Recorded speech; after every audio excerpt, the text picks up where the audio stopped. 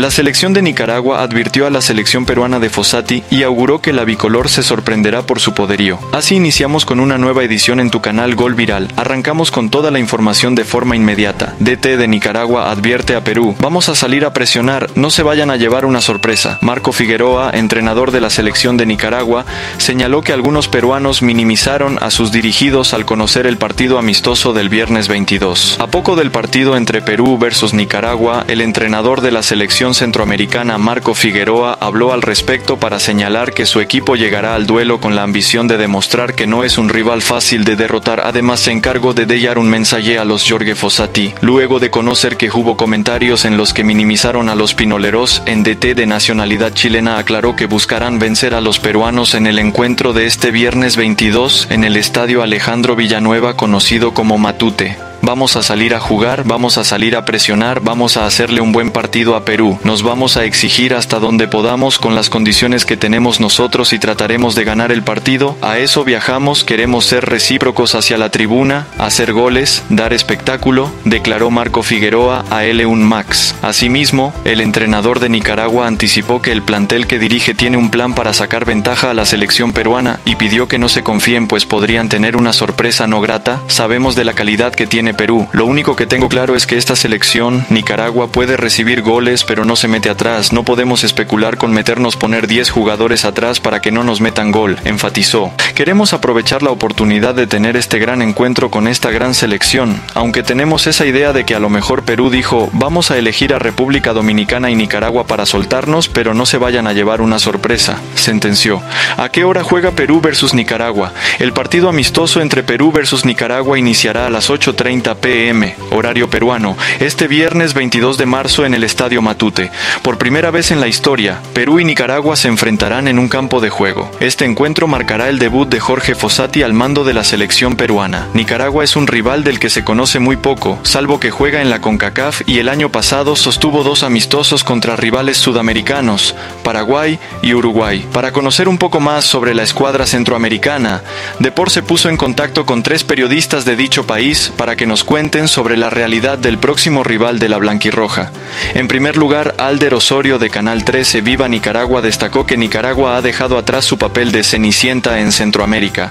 Los tiempos de sufrir duras goleadas y ocupar los últimos puestos en la región han quedado en el pasado. En los últimos años, la federación ha estado trabajando activamente para transformar esta imagen y el partido contra Perú es una pieza clave en este proceso de renovación y desarrollo. Hoy en día, el panorama ha cambiado drásticamente la mentalidad ha experimentado un giro completo. La Federación Nicaragüense ha demostrado un compromiso serio con el desarrollo del fútbol, lo que se refleja en la contratación de entrenadores extranjeros de renombre. Este progreso se ha evidenciado en los amistosos contra selecciones importantes. Además, los clubes de Centroamérica también han experimentado mejoras significativas. Perú se encontrará con una selección completamente transformada en comparación con años anteriores. Ahora nos respetan, afirmó. Por su parte, Nectalí Mora de NMC Sports señaló una notable brecha entre Perú y Nicaragua en términos futbolísticos. Destacó la presencia de jugadores de peso y jerarquía como Paolo Guerrero en el equipo peruano.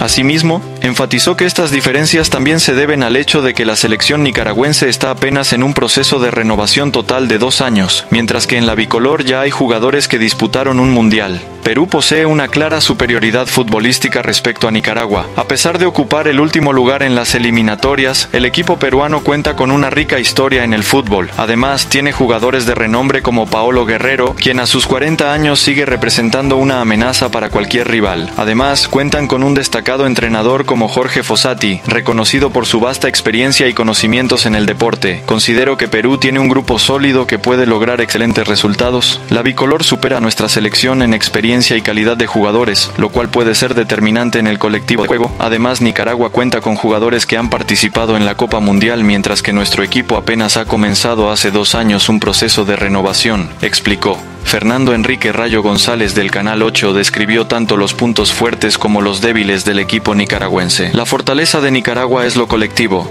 se trata de un equipo que su mayoría lleva jugando varios años jugando juntos a nivel de sección. Además, al no haber muchos futbolistas en el exterior, varios jujean juntos a nivel de clubes o se enfrentan muy seguido. Lo que termina siendo en cierta parte beneficioso. Entre sus principales puntos flojos está el factor físico, porque tenemos jugadores que no son muy altos y que carecen aún de masa muscular, acotó el periodista centroamericano. Tiéndonos un poco a, la selección peruana, antes de meternos como tal, ¿no? Dentro de lo que puede eh, dar en tanto Nicaragua como Perú, eh, se habló mucho en la previa, ¿no? Que Perú iba a enfrentar a Italia, que iba a eh, viajar a Europa o Estados Unidos, y después un sector, un sector que obviamente todos tienen opiniones divididas, empezaron a decir ¿Por qué enfrentar a Nicaragua a República Dominicana? En tu caso, obviamente, Nicaragua. ¿Qué puede ofrecer Nicaragua eh, a la selección peruana eh, en un amistoso que, de hecho, va, a ser fuerte, ¿no? Pero ¿qué decirle a ese sector que de alguna manera subestiman un poco a, los rivales en ese aspecto? Sí, sí, he leído un poco de algunos desubicados colegas de ustedes eh, que no hablan bien no, o no hablaron bien de nuestra selección. Eh, solo recordarles a ellos y a ustedes que nosotros no hemos medido a grandes selecciones, selecciones mundialistas, Qatar, eh, Irak, eh, estuvimos con Paraguay, Uruguay, estuvimos en Europa, jugamos dos partidos muy intensos, muy intensos con, con Qatar y Ghana.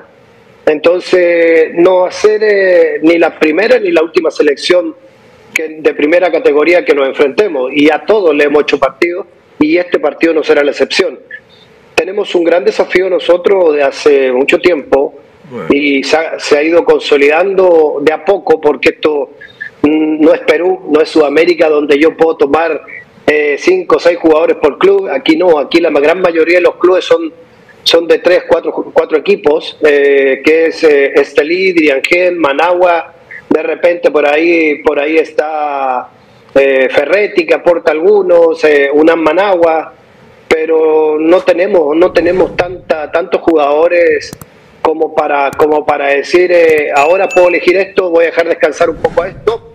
La base de la selección es esa. Si Fossati agarró un partido con Uruguay, vas a ver que esa es la selección que va a jugar, porque tenemos una base sólida y rodeada de puros muchos jóvenes. La, la, el promedio de edad que llevamos nosotros a Perú es la base que hemos llevado todos, los, que es un promedio, promedio de 23-6 o 24-4 es más o menos el promedio de edad que estamos llevando.